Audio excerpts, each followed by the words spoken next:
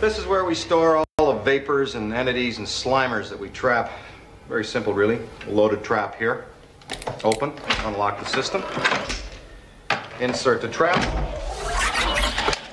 Release. Close, lock the system. Set your entry grid. Neutronize your field.